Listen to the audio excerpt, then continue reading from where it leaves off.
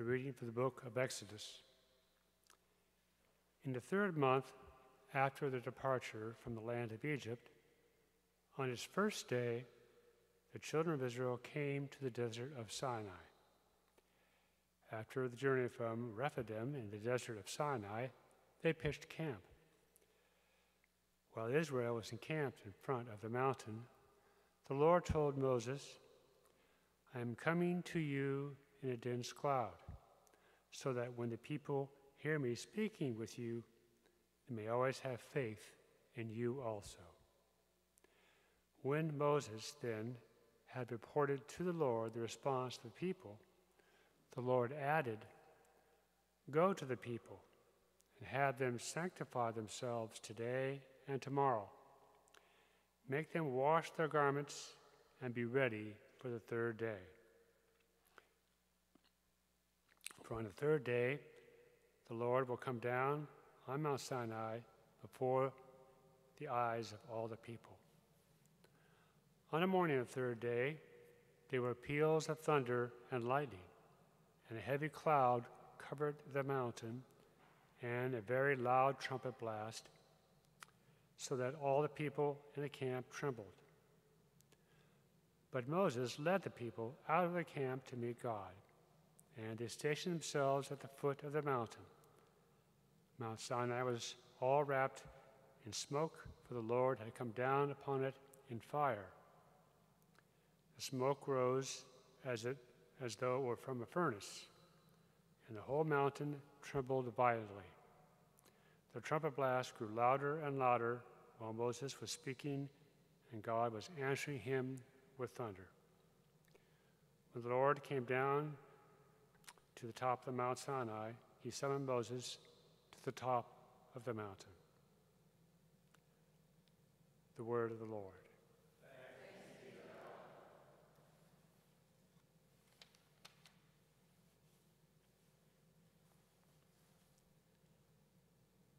Glory and praise forever. Glory and praise forever. Blessed are you, O Lord, God, the God of our fathers, praiseworthy and exalted above all forever. Praise forever. Blessed are you in the temple of your holy glory, praiseworthy and glorious above all forever glory, and praise forever. Blessed are you in the throne of your kingdom, praiseworthy and exalted above all forever. Glory and praise forever. Blessed are you who look into the depths from your throne upon the cherubim, praiseworthy and exalted above all forever. Glory and praise forever.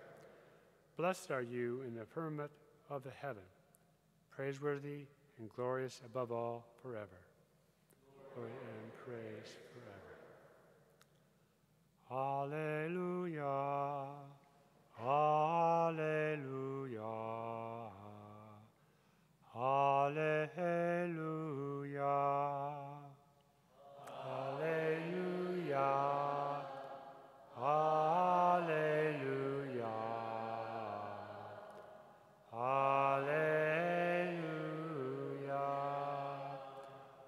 Blessed are you, Father, Lord of heaven and earth.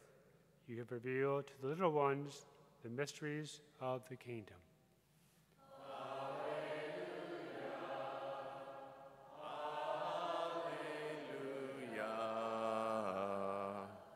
Alleluia. The Lord be with you. Reading from the Holy Gospel according to John. Thank you, Jesus. On the first day of the week, Mary Magdalene came to the tomb early in the morning while it was still dark and saw the stone removed from the tomb. So she ran and went to Simon Peter and to the other disciple whom Jesus loved and told them, They have taken the Lord from the tomb, and we don't know where they put him. Mary stayed outside the tomb, weeping, and as she wept, she bent over into the tomb and saw the two angels in white sitting there, one at the head and one at the feet, where the body of Jesus had been. And they said to her, Woman, why are you weeping? She said to them, They have taken my Lord, and I don't know where they laid him. When she had said this, she turned around and saw Jesus there, but did not know it was Jesus. Jesus said to her, Woman, why are you weeping? Whom are you looking for? She thought it was the gardener and said to him, Sir, if you have carried him away, tell me where you laid him, and I will take him. Jesus said to her, Mary. She turned and said to him in Hebrew, Rabboni, which means teacher. Jesus said to her, Stop holding on to me, for I have not yet ascended to the Father. But go to my brothers and tell them, I am going to my Father and your Father, to my God and your God. Mary Magdalene went and announced to the disciples, I have seen the Lord, and then reported what he told her. The Gospel of the Lord.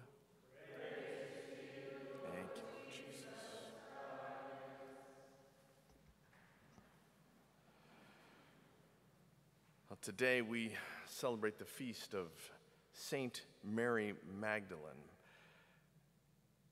And one of those figures that weaves in and out of the story of the life of Jesus. And, and this encounter at the tomb, I think, draws our hearts and our minds to several things. Uh, first off, that Jesus reveals himself to Mary. And he reveals himself to her before others, before the apostles. And there's something in this extension of Jesus revealing himself to Mary that reflects the heart of Jesus and the mission at which he came to, uh, to serve. And is that he wasn't coming first and foremost to the most important, those of highest rank, those of greatest position. He came to those who were in deepest need. So, Mary Magdalene is one whom he says that he cast seven demons out of. And so it's amazing that he would reveal himself to her as well as she, after having the demons cast out, devoted her life in service of Jesus and his mission. And we see Jesus doing this time and time again. There was not a prefer- preferential option for the powerful, it's the preferential option for the poor, those most in need. So it's beautiful that he reveals himself to Mary. But there's another thing that I think is most important for us to uh, take from this feast that the church gives us to focus on and, and Mary's response to the whole crucifixion event. One could say, in part, that the reason Mary encounters Jesus is because even after his death, she was still seeking Jesus. She was the first one to the tomb while the apostles are holed up in the house. She is there to care for, the, um, uh, for what she understood to be the dead body of Jesus.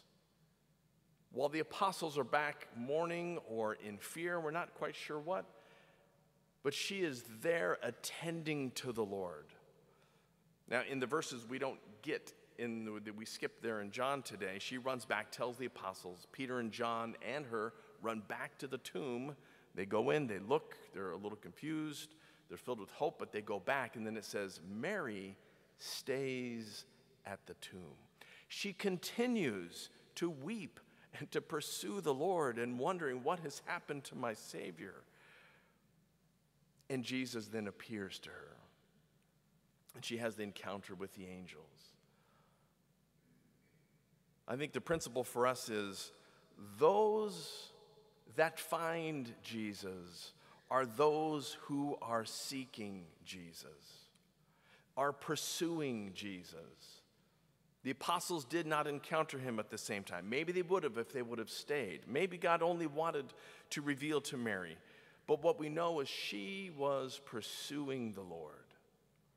And in part, I think you see she was one who was profoundly transformed. Having seven demons cast out, utterly transformed her life. She was not an intellectual participant in the life of Jesus, she had been transformed. Now, each of the apostles had seen transformative things, but really had yet to have their maybe personal encounter with the Lord that really transformed them. Peter eventually has this as he's restored after his fall.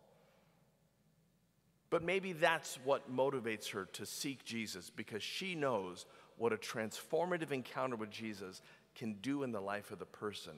And so, even after his death, she is going to be present, attend to him, and seek the Lord. Uh, so, for us today, as we continue with this liturgy, as we prepare to receive the Lord in the Eucharist, it's a worthy question for us. How are you and I seeking the Lord? Not just present, not just learning and studying, but seeking the Lord, surrendering to the Lord. It always takes surrender, it always takes brokenness. How are we pursuing that? Because it's in that pursuit that's when the Lord comes to those who are in greatest need, those who are on their knees before Him. That's where the Lord meets us in that place of seeking Him. Even if we don't know a whole lot of information, but we are sincere in our pursuit of God, He will meet us, meet you at that place and point of need. Amen? Amen.